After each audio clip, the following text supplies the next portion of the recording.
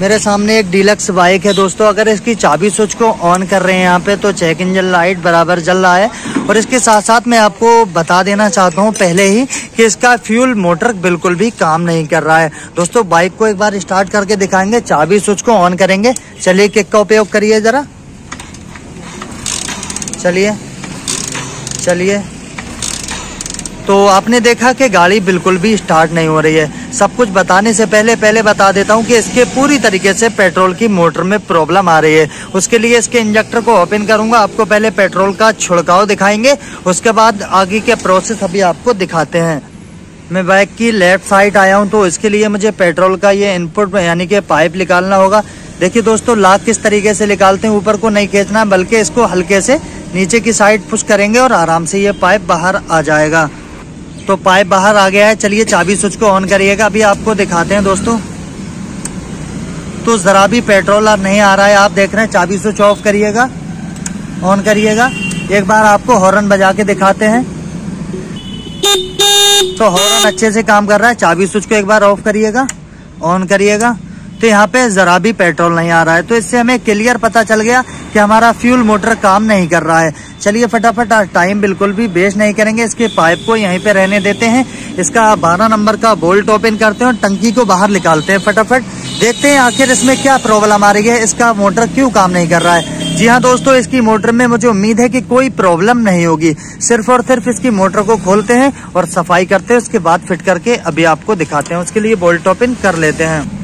मैंने इसके fuel tank को बाहर निकाल लिया। ये रहे इसके 8 एम mm के बोल्ट और इसके 8 एम mm के बोल्टों को ओपन करेंगे। चलिए फटाफट खोलिएगा। सारे बोल्टों को खोलते हैं। अभी आपको इसकी मोटर को बाहर निकालते हैं। खोलिए।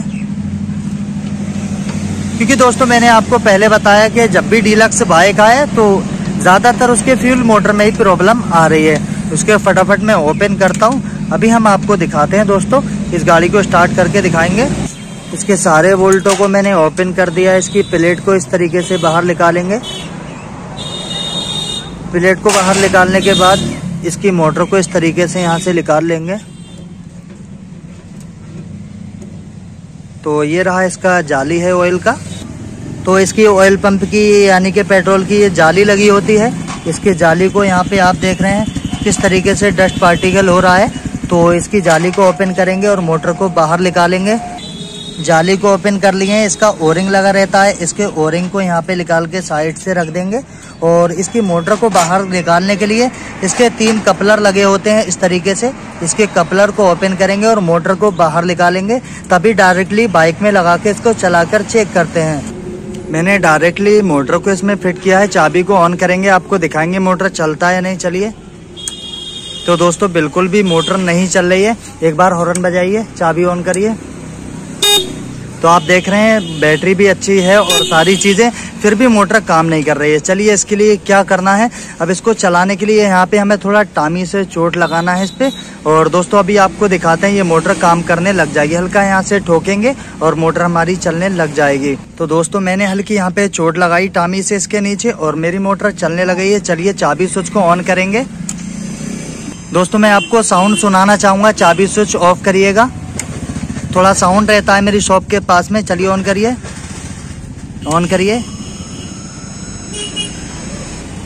एक बार ऑफ़ करिए, चाबी को ऑन करिए। एक बार ऑन ऑफ़ करिए। चलिए, रुक जाइए। तो दोस्तों, एक बार और ऑन करते हैं चाबी को। चलिए। ठीक है। तो दोस्तों, आपने देखा ऐसी कोई प्रॉब्लम नहीं है। सिर्फ़ मैंने यहाँ पे हल्की टामी से चोट लगाई और मेरी मोटर पूरी तरीके से चलने लग गई है। चलिए इसको निकालते हैं बाहर। अभी आपको फिट करके दिखाते हैं।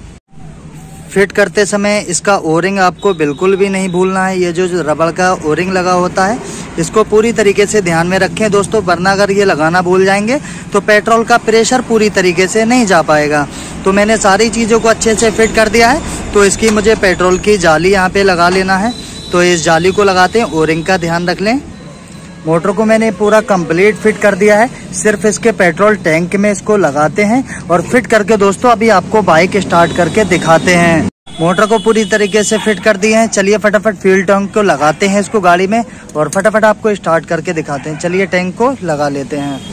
फ्यूल टैंक को फिट कर दिए हैं, इसके कपलर को लगा लेते हैं। अभी आपको इसकी मोटर चला के दिखाते हैं दोस्तों। इसके कपलर को फटाफट यहाँ पे हम लगा लेंगे इसके। फ्यूल पंप की और अभी गाड़ी को आपको दिखाते हैं। कपलर को लगा दिए हैं, चाबी को ऑन करेंगे एक बार। यहाँ पे पेट्रोल दिखाएँगे आपको दोस्तों। चाबी को ऑन कर रहा हूँ, पेट्रोल देख लीजिएगा आप। यहाँ पे आने लग गया है। देख रहे हैं आप? मोटर चल गई है पूरी तरीके से। आप पेट्रोल को देख सकते हैं दोस्तों। चाबी ऑन करने पर बराबर यहाँ पेट्रोल आ रहा है। चलिए इसको लगा लेते हैं। बाइक को भी स्टार्ट करके आपको दिखा देते हैं। चलिए चाबी ऑन करिएगा। छोड़िए हाथ हटाइए।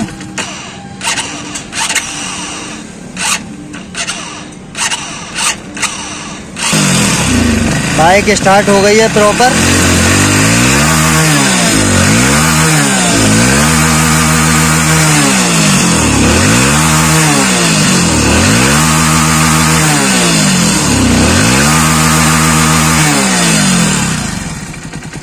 तो आपने देखा पूरी तरीके से गाड़ी आइडियल कंडीशन में एकदम स्टार्ट खड़ी है। तो आपने देखा कि मोटर में कोई प्रॉब्लम नहीं थी दोस्तों। सिर्फ़ क्या था कि डीलक्स बाइक की मोटर में थोड़ा प्रॉब्लम है और उसको अगर हल्का सफ़ाई कर दें उसको ठोक देते हैं तो उसकी मोटर ऑटोमेटिक चलने लग जाती है। तो दोस्तों, ऐसी कोई प्रॉब्लम नहीं थी। आपने देखा कि मैंने कुछ भी नहीं किया और बाइक पूरी तरीके से स्टार्ट हो गई है।